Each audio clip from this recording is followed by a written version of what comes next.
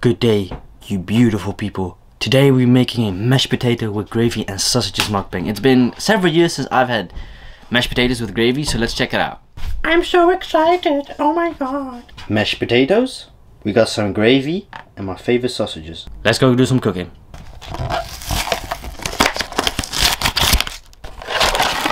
We got two bags. We're only going to be using one because it's a portion for one person, not for two people.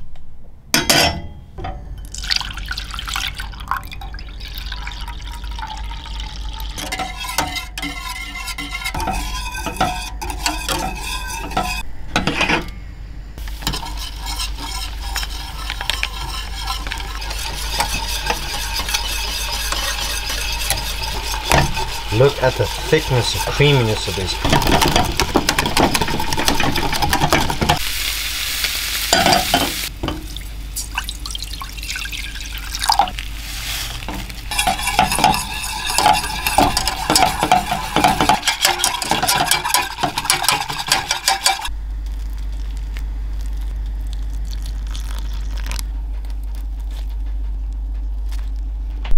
And there you have it. Mashed potatoes with gravy and sausages. Oh man, I'm very excited. Let's go eat this bad boy up, man. Don't even think about it. Don't even think about it. Today we got mashed potatoes with gravy and sausages. Let me show you this up close. I'm super excited. I've read your comments saying, bro, you gotta make some dish that's big.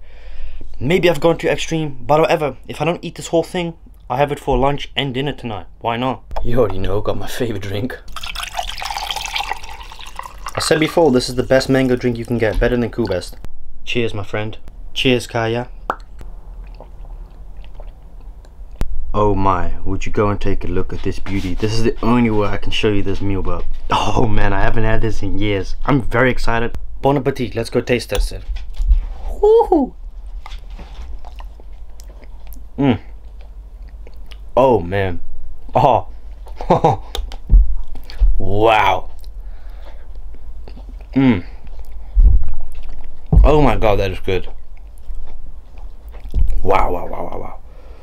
Take a look at that deliciousness. Whoa! The gravy. Mmm. That is full of flavors. Now the nice thing about this meal is, even during these times, it's very affordable. You can get the one that's 170 or the one that's 90 cents. Now I went ahead and got this one. But ironically, what I noticed while looking at the ingredients, the same ingredients almost, the cheaper one has way more protein, less carbs, but more fat. Mmm. Jesus. Oh, we used to eat this in the UK. Oh man, like this was a daily thing almost. So amazing. Why you add milk is the milk makes it creamy. Mm. What you do normally, you take the sausage, right? You dip it in the gravy and everything. Like you dip it in here. The mashed potato, it's so tender and sweet. I mean, look at that. Oh! Yeah, buddy. That's fire, fire. Mmm very affordable meal like i said especially in these times this cost you uh, let's say you go for the cheap one right? That's about 90 cents. You go get milk 80 cents. Yeah. It's a very affordable meal. Really affordable. Holy crap. I just figured it out. Ooh. oh look at that. That's fire. Mm. I remember I used to eat this when we were in England. Um, we used to actually eat this a lot. Like when I say a lot, a lot, lot. I don't know if it's a typical Dutch thing. I don't know. I want to say yes, but at the other hand, I feel like it's not a Dutch typical thing. What we like to eat, what we used to eat, was stamppot. How do I describe what that dish is? Mm. You got andijvie, which is a, some form of vegetable with spinach and gravy in it, I think. And a sausage. Very delicious. Also pretty cheap to make yourself. Mm. Mm, mm. It's one of these meals I used to love when my mama used to cook these. My mom used to cook this. You know, it's funny because my dad does all the cooking in the house. There's a reason because he can cook the best. Hmm Look at that. Oh man. Brings me back memories and joy. Let me tell you that. As a little kid, growing up eating this stuff.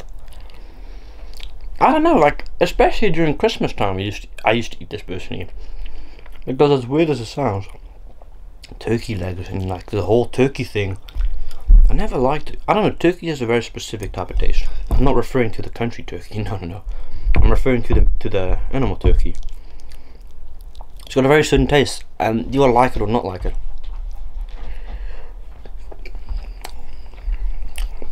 Holy shit.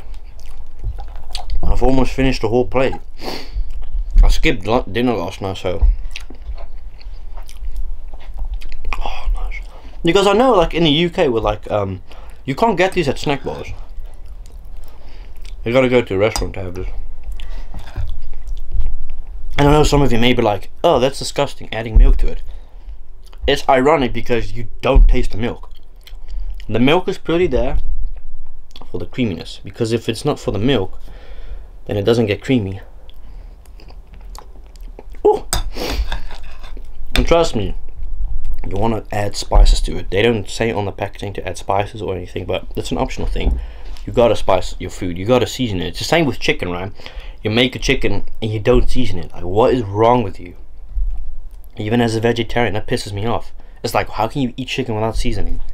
That's weird. Like, even a cracker with cheese, I have to season it. It's so boring and bland, you know. I put garlic and herbs on it, lemon, a uh, little bit of pepper, some habanero, and um, some other stuff. Hmm. It's nice weather. It actually stormed last night. No, you're not gonna beg. You already had breakfast. Don't you dare beg for me now. Uh, yeah, no, it was actually storming last night. For the first time in a month, it actually rained. Very scary, but very scenic as well. Like beautiful. It's very unique when it rains. This is a lot of food. Damn. I had to close the window. God damn, these dogs bark a lot. Like, like I said, this is an unknown place for them. No, stop begging. Let me eat, please. You already had breakfast. I forgot what I was saying. Shit. Well, it don't matter really, just be honest. Hmm. It's a lot of food. Why would I pay for this in a restaurant? Like, if I had this portion, it's way too much. 10 quid. Hmm. Get two sausages. Yeah, not bad.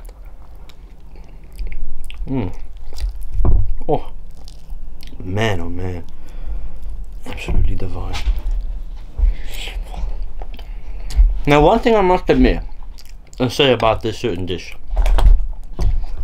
It does get boring after a while. And that's the thing I've always said about gravy and mashed potatoes is shit gets boring after a while eventually. Like it's the same when you you know it's crazy because what's wrong with your ear? Nothing. What are you flapping your ear for? Huh? Oh, a little bit dirty. I gotta clean this now. How was it on Oh, that sounds painful. Jesus, why would you do that? They're both, you know, it's weird because we never taught them to beg. It's just, I think it's just a natural thing for dogs to do, I'm assuming. Gotta brush my teeth just now. Gotta get the day started. Edit a couple videos. Mm. Oh. The sausage makes it nice as well. That's way too much food. Holy shit. This is a lot of food, man. This is food for two, two people. Maybe even three.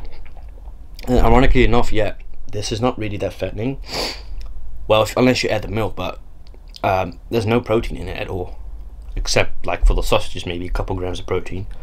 But, like, potatoes in general have no protein. It's only carbs, really. Like, potatoes is one of the most useless things to consume, really. If you look at the food stack. But it's tasteful. Like it, it may sound weird, but like when it comes to eating fries, I never really eat fries. I think the last time I had fries was a fried mukbang. It's a couple weeks ago. I know I said I would make the parm fries, but I'm sorry, but I can't do it, man. The parmesan is so disgusting. It's a certain required taste, like I've said. You know, I don't like it. It's a shame because I was really optimistic. I just grabbed the random parmesan. I'll be honest as well. I just saw the vegetarian label and I was like, okay, I'll just get that one. you know what I mean? But that's what it is, you know. But it's been an interesting week so far. Um, no, nothing with the neighbors. Like I've said, you know. I'm over it. I don't really care. You know, um, I've only kept the dogs inside majority of the day due to the fact that it's muddy. You know, it rained obviously, and I prefer not to get stains on the couch because, as you can see, I've got a towel on the back here. I found out two nights ago Bella sleeps on the couch. You fucking sneaky dog. This dog is very sneaky. Oh man, I've had enough. I mean, look at this. I ate like half the plate, and it was stacked up to like the top. I just want to talk a little bit extra. Yeah, just talk a little bit. Um, parents are at the new house, like I said. Yeah, man, it's crazy. It is really crazy. Finally happened after years. You know, because we were shopping. I don't know if I mentioned this, but uh, I wasn't allowed to to say it really three years ago. But we were always always house it's always house hunting. You know, it started as a fucking joke. My mom said, you know, it started as nothing serious, just shopping for houses, you know, because that's what I sometimes do. I just look for houses and see what the prices are and just where they're located, etc. There's a dog handy, very nice. Um, but then eventually she was like, damn, maybe we should move out. Know, we've had amazing 16, 17 years at the place we lived. Really phenomenal. But it's now or never in a way of, you know, the market is still very high. You know, your house is worth a lot regardless if it's big or small. You're going to get more than what you highly likely paid for it. So we definitely made more. You know, I'm going to say, say obviously how much it sold for, but uh, it sold for a crazy number, which personally I, for a, a house that's not detached, fuck no, no way I would pay that much for a house. But then again, it's the location where our house is located. You've got to you got to realize and remember, our house is one of the only ones, and I say this, our house is one of the only houses in the whole area that has a field on the back and not houses backed up on us. You go at the front of a street, houses backed up on each other. You go to the other street, houses backed up on each other. That's the reason why my parents bought that house 17 years ago.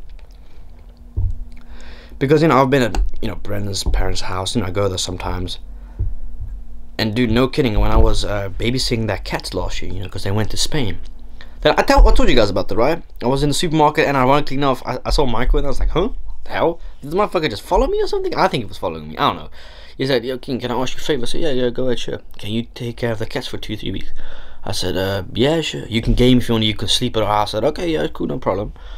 Um, and, and I remember because you're sitting in, uh, you guys know the house, you know, I've made videos for Brendan, etc. The downstairs and only like the top, like the attic, the rest not obviously, because you know I want to value that. Pro- I value that privacy. You know, it's their house. Obviously, I'm just a guest, but uh, shit. What else? And Brendan's room you've seen, but um, it's a really nice house. You know, uh, I do prefer the layout of their house compared to our, our house. Not not the new house, but the house we saw, obviously. Uh, but you know, when in your living room you can hear people through your um, glass doors when they're at the back of the garden, like talking loud, just music, which you know it's not a bad thing. Because you gotta remember, like a lot of Dutch people don't care about noise. They don't give a shit. Fucking, you know, they love noise. But I guess we just mm, like peace, and that's exactly what the new place is providing us. Is peace. I want peace. I want problems, not peace. Is that the meme? I don't know. I'm still sick. Sorry about that.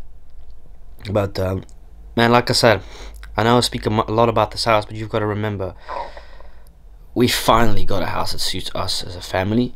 Because, you know, you can, you can obviously state the argument, say, oh, but, you know, a house is just a house.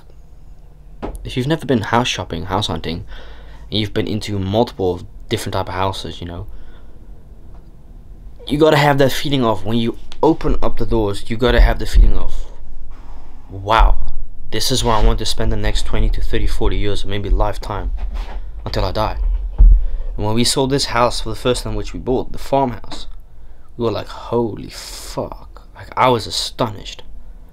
I was rather disappointed with the fact, you know, there was a road in front of us, but, you know, you filtered it out eventually.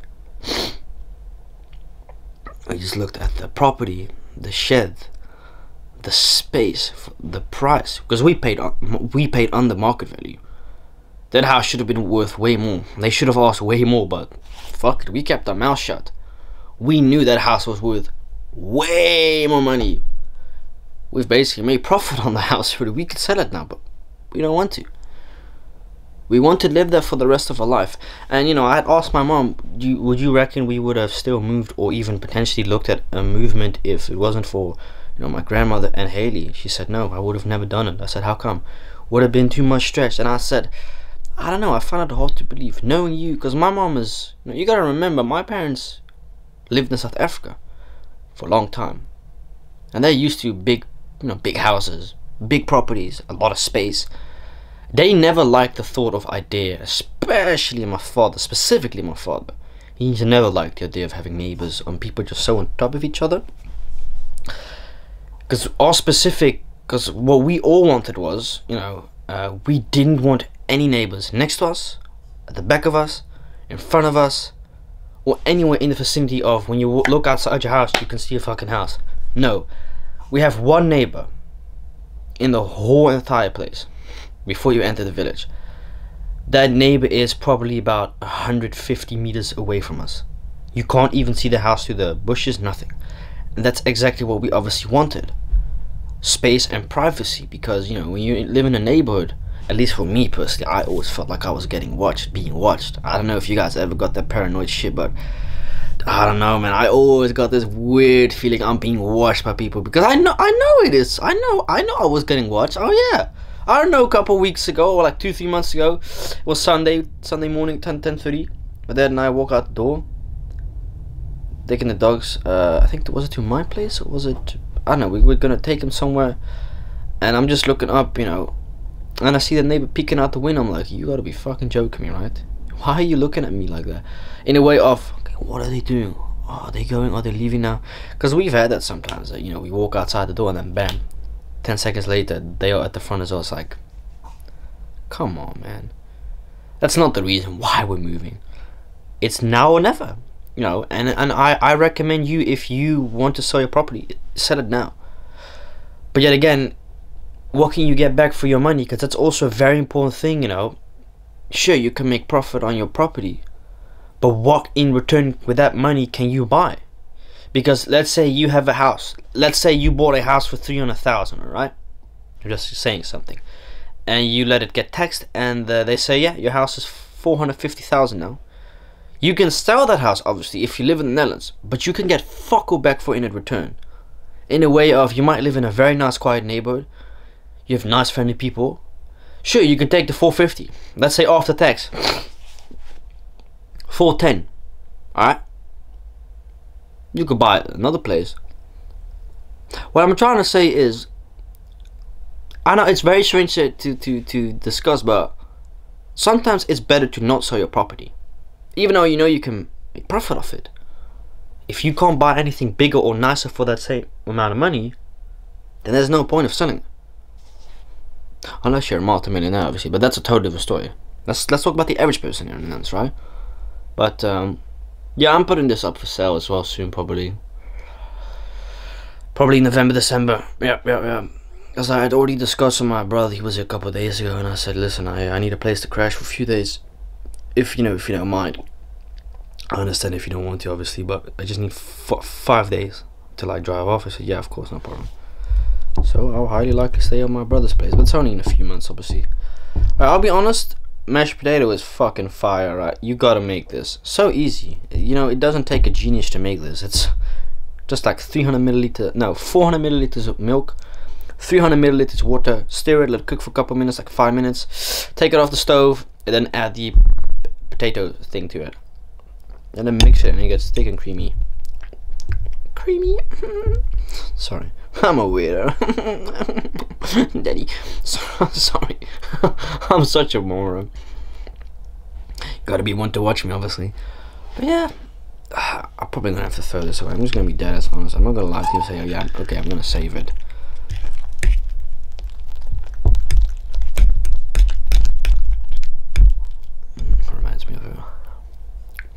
Anyways, I'm gonna end this mukbang. Thank you so much for watching.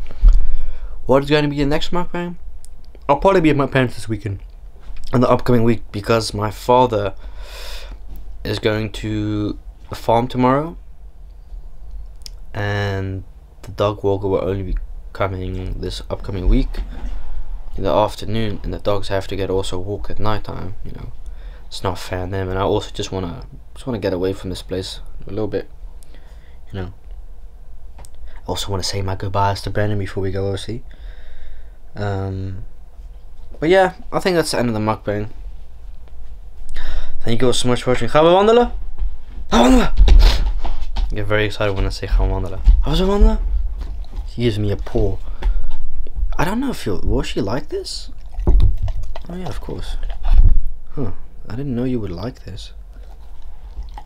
Oh shit. You lick my finger? Okay, good. Thank you. Ah, don't lick my board. Oh god damn it, that's ah, that's slime. On. No, stop licking my board. It's slimy.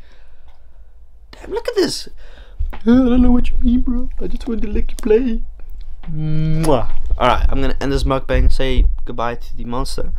Be at my parents tomorrow, so thank you so much for watching and uh, have an awesome day. Peace out, kid.